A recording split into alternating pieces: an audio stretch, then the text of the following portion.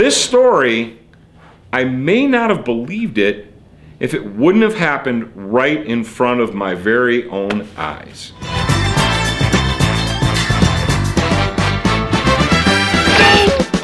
Now, this story requires a little bit of explanation because many of you out there watching were not in the United States military. But if you were, you know about these things called stripper clips.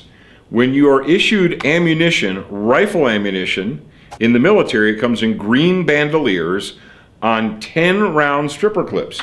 Because in the middle of a battle or combat, you may have to reload empty magazines.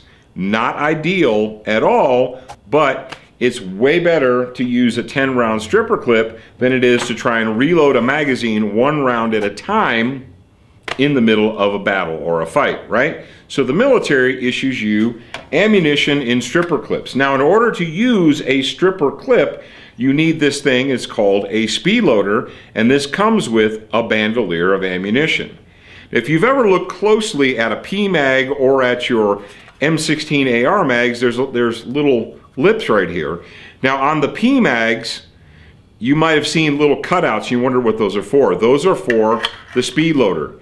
You slip it down over the magazine like so. You put the stripper clip in there and then you push down. You push down it all the way, putting it on your chest works. Pull this out, discard it, and then you do that three times boom, you have a loaded magazine. You can load it pretty quickly.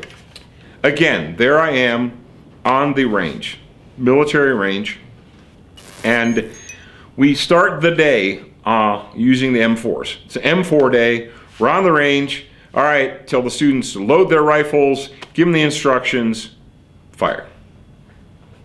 Little Johnny's down on target number 21, right?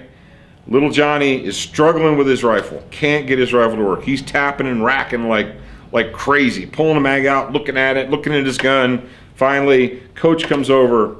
What's going on? My my rifle's broke. It won't work. Okay, Johnny, what's up?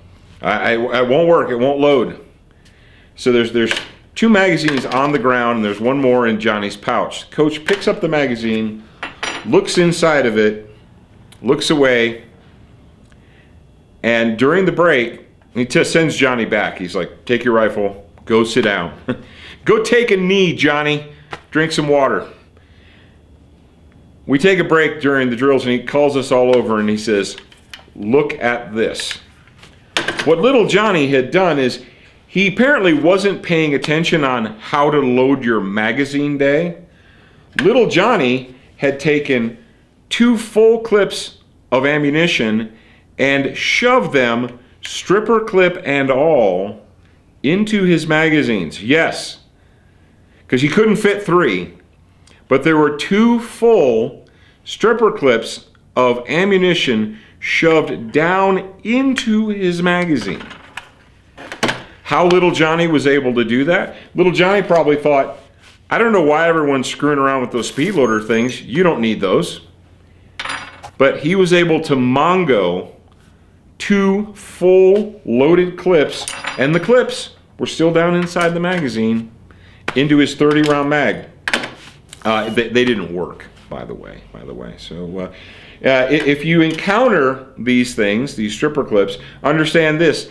Clips hold ammunition together. Magazines feed ammunition to your rifle.